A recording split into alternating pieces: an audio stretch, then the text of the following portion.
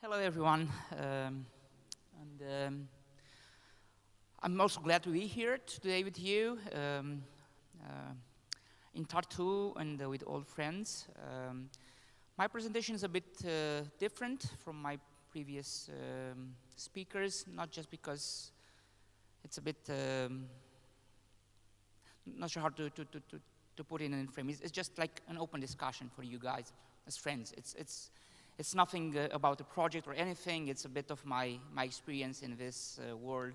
It's more about maybe open data and open source or whatever. But it's, uh, it's, it's just a few things that uh, somehow in life, in professional life, I, I, I went through and uh, I'd like to share a bit with you. So, and of course, we are in Europe, and Europe is a bit complicated. And uh, I just put this nice map from the timemap.org and you could understand why it's a bit difficult because we have like quite a history and this continent changed uh, in many ways through the history. So this is why it reflects somehow in all our daily life, in no matter what, what the domain is, of course, this kind of history will make a stamp or on us. So yeah, this is why. So about me, I, as Condira mentioned, I'm a I have all the hats possible in the world, so I'm working for the uh, governmental entity for many years now. It's like almost 24. So the Met office in, in Bucharest, Romania. I'm also working for a private company. I'm also working with the European Commission, being the delegate of my country in the Copernicus User Forum, and the Destination Earth Coordination Group. Um, and uh, I'm also teaching at the University of Bucharest, and um, I'm also involved with OSGeo. I've been in the OSGeo board of directors, and I'm also steering a NGO in, in my country that organized in 2019 uh, one of these events, the FOSS4G Global um, in Bucharest uh, in September 2019. And the most important thing is I'm volunteer in, in this uh, organization. That's, I'm very proud of it. So, that being said, um, some almost 20 years ago, in uh, 2006, I attended this event in Lausanne, in, um, in Switzerland, and uh, that event changed, really changed my life. It was called FOSS4G. Um, it's the same conference, but it was the global, global one, and um, I was like uh, quite young in my profession at that time. Had like a couple of years in working in the geospatial domain. And this conference totally changed my professional life, my way of thinking, and my, the way I'm doing things today. And uh, I put the picture of Schuyler here because it's one of the great people I met at that conference, but it was not only Schuyler. I had the chance to meet with uh, Frank Warmerdam, Markus Neteler, Gerald Fenoine, all those good and important people in our community.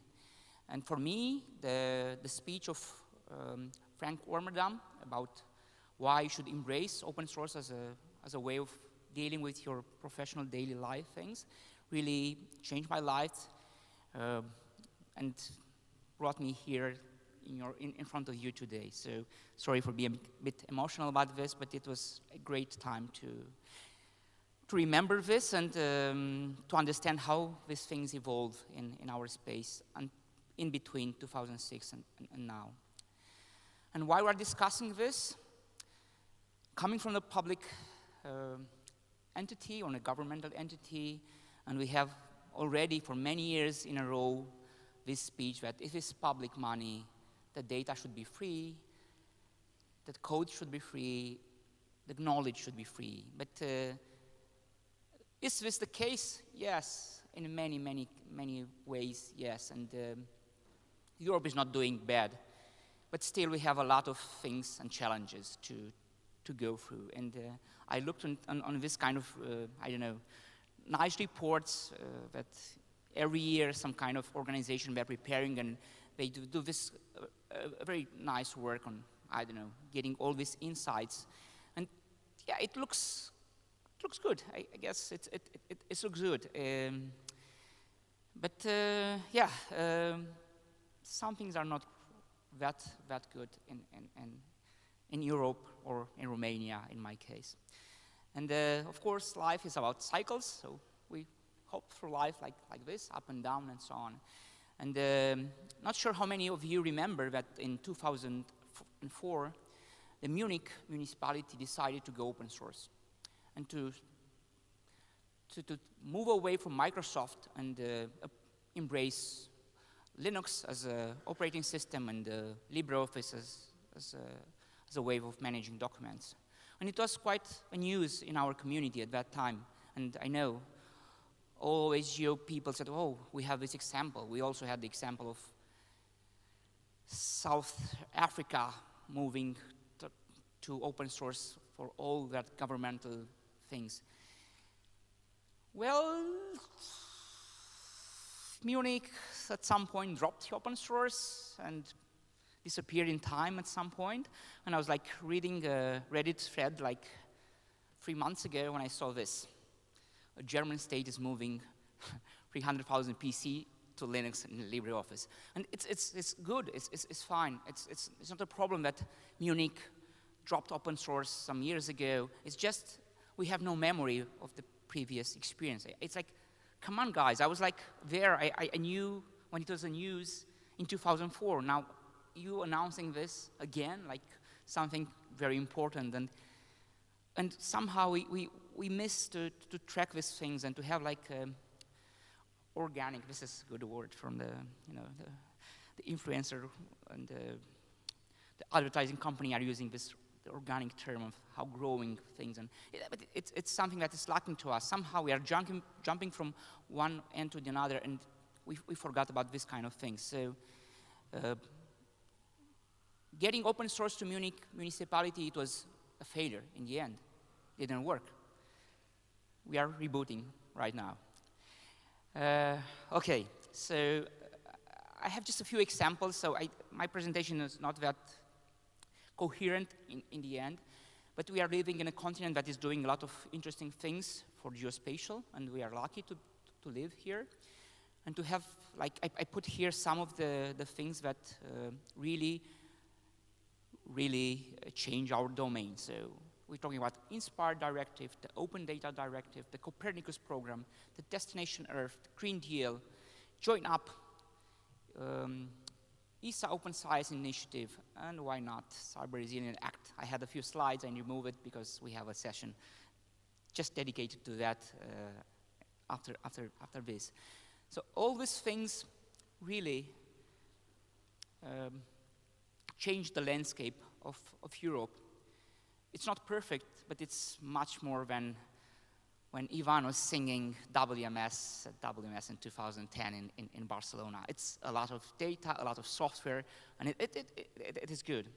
And I would like to go through a bit of like some examples on what is good and what can be improved somehow and why, and why it's good to, to remember these things and keep in mind that uh, it's not always to go to the advertising, why we should care a lot about this is things that we got until now. So much open data, so much open software, uh, open standards, and so on. We are here right now, but they could vanish, and it's important to, to understand how we, we, we, we progress towards this and how we should somehow uh, safeguard this. And I would just be discussing a bit about Copernicus because uh, it's something I'm deeply involved for many years now. And um, you all know this is the most successful, maybe, space program in the world, and uh, we did it. Europeans, we did this. We designed a program for space exploration. We put satellites on the orbit, and now we have data that are, are the biggest archive in the world of space data. We overpassed NASA some years ago, and we do great with this. But then, and I, I remember yesterday's talk by Atina, he mentioned the gold goose thing. At that time, it was estimated that every euro invested in, in Copernicus will bring back 24 more. That's not true. Some years ago, they, it was another uh, article on the, on, the, on the website of Copernicus saying that 10 times more than the cost. It's not also true. It's like about three. Every euro, it, it, it brings back in the economy three more, or 2.84 or something, something like that, which is not bad. But it, it, it was really was a game changer. Uh, and I, at that time, in 2011, when the, the, the open license was uh, approved by European Commission and um, by the member states, I was part of the discussion in the Copernicus User Forum. And it was quite an experience to see how difficult and tough was to adopt an open license for Copernicus data due to many interests. And um, now it's here, but uh, we'll see if it will last. And uh, being a bit, um, being, getting a bit of criticism in my presentation, it's, so we designed this great uh, system for gathering uh, data from above us and, um, and, and, and, from, from many fields. And uh, then we realized we don't have an infrastructure to deliver, to streamline the data to the, to the users. And then we decide to create our own geoclouds because uh, we are from Europe and then Amazon and Google and Microsoft are from the other continents and uh, somehow we don't play along. And we, we, we, designed this, we had this tender and we had like um, created five, not one, five geoclouds.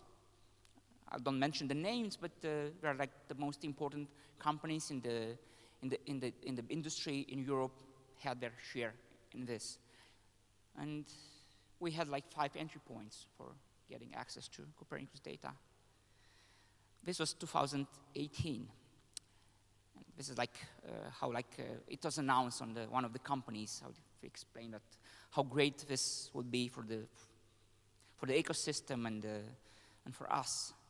And just four years later, goodbye. Uh, this one of the, the end, this endpoints shut down and now it's not, even the domain is not, not, not working. And what I would like to, to emphasize here is like, we have such a great space program and the products are really, really great. But somehow we are losing ourselves in details. And uh, just to make sure that the industry will have their share of money from the public money, we just fail to provide like a, a sustainable way of delivering this data to the industry, to the public, to NGOs and whatever. And this is a lesson to be learned because we spend like, for these five uh, clouds, we spend like almost 200 millions euro from our money. And now we reinvent it. If you search for DIAS right now, not so many replies on, on Google because the concept is gone. We, we have two new ones. Uh, doing the same thing and no one explained us why, why it happened. But okay, going to the new ones. Uh, if you have a business and, uh, it, and you are encouraged by the, by the Commission and by the, the Euro, by the, the, the government, to use that infrastructure to develop your business and um, make it operational, get operational services. You see things like, like, like this. I was like, downloading some data from WEkEO at some point. And, uh, it was on the um, 8th of May. And then I, I discovered that all the data is corrupted. If it's more than 100 megabytes, you cannot download by, by any means. And I, I created a ticket, of course, on, the, on there, and I got this reply. Bank holiday in Europe, I'm apparently for like a week or something. No one managed to, to, to fix this. And uh, it's, I mean, it's, WEkEO is like 50 million euro investment, and uh, it's how many petabytes of data? I don't know, it, but a lot of petabytes of data are not available from no one, just because, I don't know, we didn't have enough resources to have a, a real support office, and this is a pity. Uh, you could compare it, uh, I, am not advertising Amazon or Google or whatever, but you could take a look in the terms of um, uh, commercial terms of uh, and the uptake, uptake time and the reply uh, on, on, on, Amazon, and you'll see it's, it's not good for Europe. Uh, and then the Copernicus has these services which are doing on thematic uh, domains. They, they, they they release a number of products that are really, really nice. And um, you see some numbers here. This is from, from March or from April. Uh, we have quite a lot of data. And um, not sure if you uh, are aware about ERA5 data set. Most probably is, it's, it's the, the, the, the best geospatial data set that the, that the humanity created in history. It's, it's, it's like SRTM, what SRTM did, NASA did in the, and DLR and others did in the, with, with this SRTM data, ERA5, it's, it's quite the same from Europe. It's a, it's, it's a huge data set. It's really, really impressive, and it's used all over the world. Not sure why 38.8% of the, the, the, the, data is downloaded by, by Asian countries, but still Europe is, is, is, is on front. But we publish the data, but the data is, is, really, really huge. It's big, and it's difficult to work with that. And I got this message a couple of days ago from my colleague, Alex, in the Met office, pointing to this GitHub of Google that released um, a cloud-optimized version of uh, ERA5 on their infrastructure. And this is what Alexander said, this is a game changer. Yes, you, could, you could now use ERA5, which is a multi-petabyte volume of data on your laptop without downloading all the data. Just uh, why we're not capable of, of, doing this, because the data is, is, is so amazing and it's, it's, it's so great. Not a criticism, it's just observational, daily, daily work. And then discussing about the open, open data. So being in this kind of uh, circles, attending this kind of meetings at the, the, in Brussels, I'm, got, I'm also got this kind of information that, uh, of course, Europe and especially Romania is in a very sensitive geopolitical context. We have a war on our border, and our data can be used by an aggressor to make harm to, to us or to others. But it's so easy. I don't know if you could see it. It's just an information that the member states and the Commission must discuss if Copernicus data should be open because it can be misused in case of war. And um, it's, it's hidden in details, and the only people like really have a bit of experience, not the open source guys that are like naive, and, but people that know a bit of how a government is thinking or a um, European Commission and others are thinking. You, you could see the dangers that are in this kind of document that in, in a second we could lose all this open access to the data just because you could see radars with Sentinel-1 on the front line, on whatever. Uh, yeah, just the kind of small details that, that uh, you don't see it, but at some point that, that can, can affect you. And regarding to the war, yeah, it affected also the community at, at, at I don't know who is not using QGIS. Maybe you saw this uh, error message on QGIS. Alexander, who is a Ukrainian and uh, one of the great contributors to, Q to QGIS, decided to, to, to, to close his um, plugins, just not the Russians to use it. And um, this is, again, by, by one of the most open persons in the world, it just has no way to protect to, to do anything, just closing his, uh, his repository just because uh, he has no other powers. And um, yeah, this has also affect us. And um, because I'm also working for a company, another danger in this is the dual use thing. And uh, it seems easy, but it's not.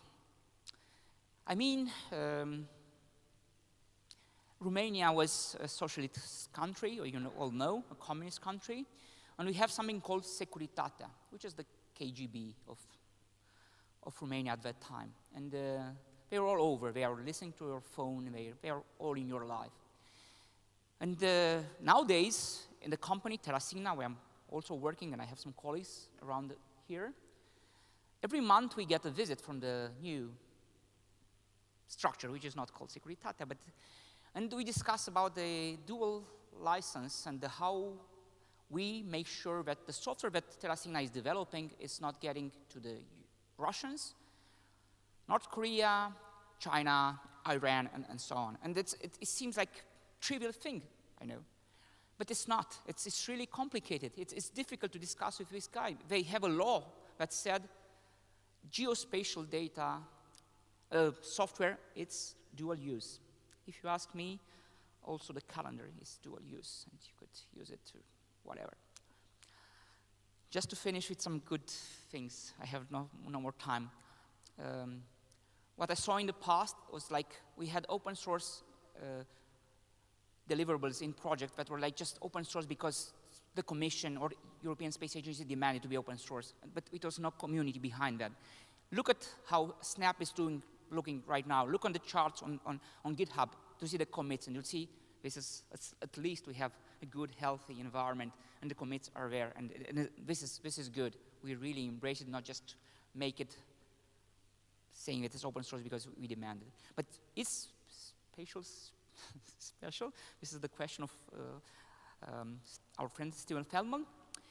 This is the companies they got, that got in 2000 more than 5 million euro uh, raised from, I don't, know, I don't know, angels or whatever investors. And there's no special company here. We have this huge public spend money in, in contracts that involve software. And GDAL, for instance, is, is, is a key element in, in, in, in a lot of this kind of multi-million euro investments in, in Europe. And also, you'll now see you know, geospatial company paying, not, not, not, let's say a big company spending money with, for instance, with QGIS. I put this because they have these logos. Do you see one of the big companies that are using this in public tenders? They are using our software. They committed to develop QGIS or GDAL or whatever. Unfortunately, no. Only small names and the small companies are, are doing, and this is not, not good somehow. But the fact is that we live here and we are like amazingly um, lucky. It's, it's such a pleasure to be with you these days, and I cannot believe that from my Eastern European country, I can enjoy so many years of sharing uh, knowledge and sharing ideas and discussing and debating and it's lovely. I love you, and yeah, we there is hope, plain and simple. Thank you.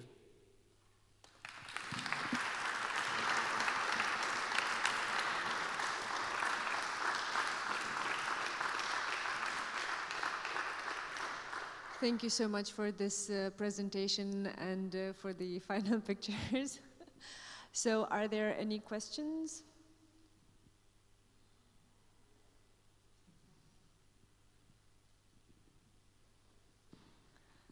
Okay, so if there are, yeah.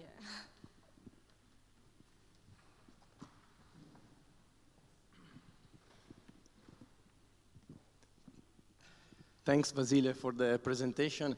I think it's always important to get uh, perspectives on what the EU, what Europe is doing. This is very welcome, and uh, I can share um, your view also you are a very experienced person and really uh, this is good. Um, consider that uh, you started saying that Europe is complicated. It is, uh, only because it's 27 member states, uh, 24 languages, how many differences.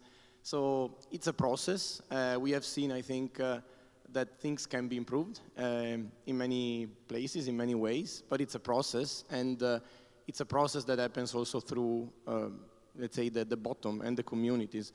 And open source geospatial is actually there.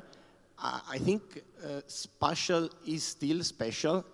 Uh, the fact that, uh, back to the last uh, slides, we do not see geospatial companies, I think it's, it's simply due to the fact that geospatial is everywhere, is really everywhere today.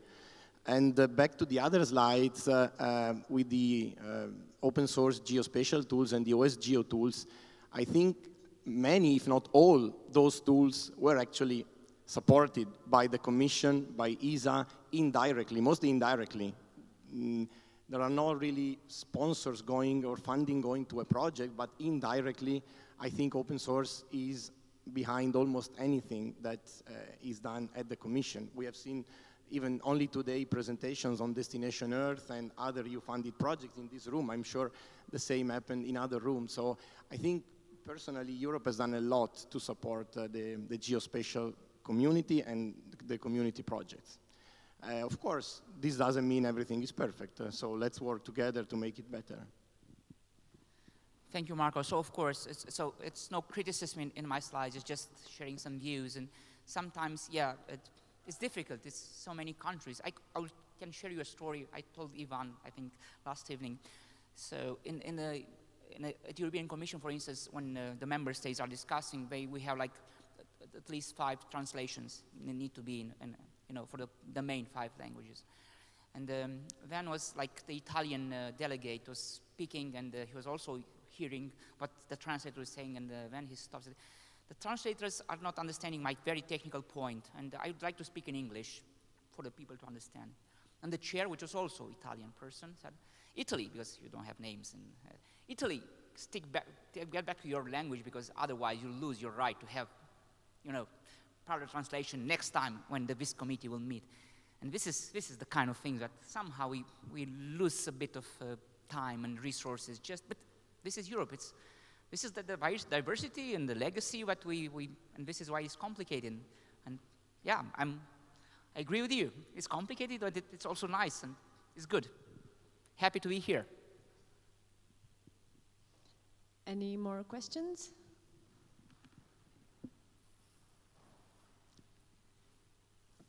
Okay, so if not, thank you very much for your presentation and your answers.